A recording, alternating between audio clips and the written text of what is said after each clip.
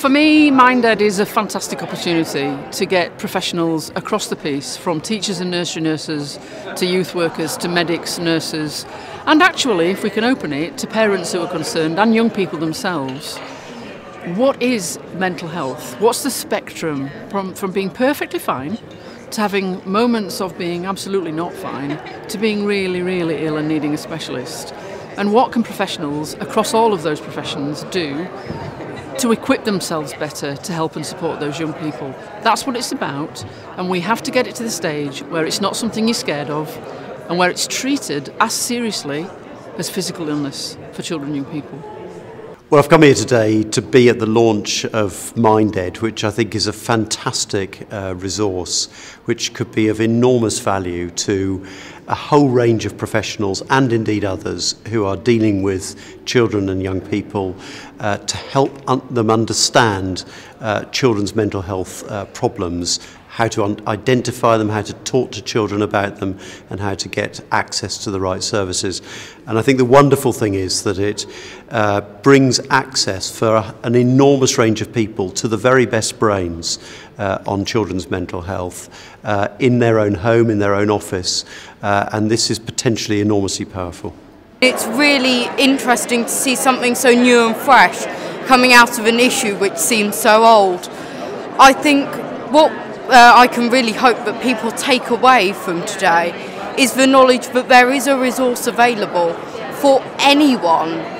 to look at for children and young people's mental health issues and that there is a platform where they can be supported I work in public health in Hertfordshire, and as we move forward into integrated working with schools, with the third sector, across health and social care, what this will enable us to do is really inform all of those professionals out there that come into contact with children and young people about the issues around the seen and unseen mental health issues for children and young people. I think it's just so important that people realise that as much as doctors and psychiatrists and all these people can help people with mental health issues, that also other people in children's lives, like their teachers, like their youth workers, they all have such a big influence and that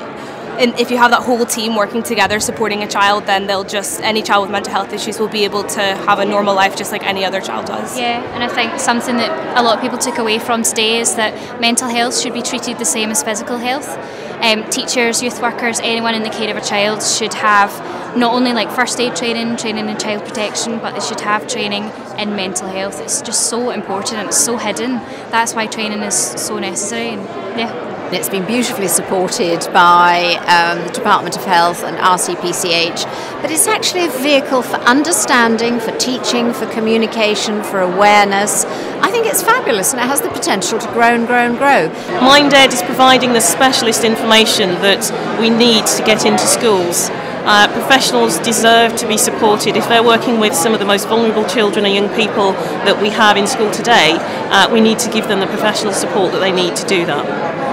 MindEd is going to provide a really good service to people and take away some of the stigma and scariness that surrounds mental health. So people can think, oh, I've got a resource here, I can look at it, I'm a bit more knowledgeable now, I don't have to be shy to go and ask for help, and I'm more able to go and help myself and other people and not be scared about it.